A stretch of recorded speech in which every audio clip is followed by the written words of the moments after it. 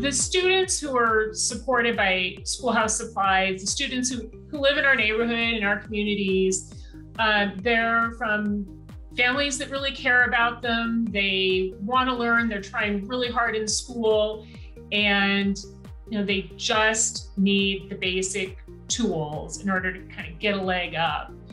And these are kids who are uh, playing sports, have lots of aspirations, lots of hopes and dreams for great careers and great educations. And the way the community can help support them in their dreams and help them contribute to our community when they're bigger is to donate school supplies and make a financial contribution to schoolhouse supplies and we'll make sure